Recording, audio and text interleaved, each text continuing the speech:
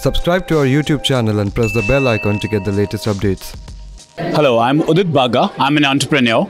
So I came for this event and it was a very insightful event.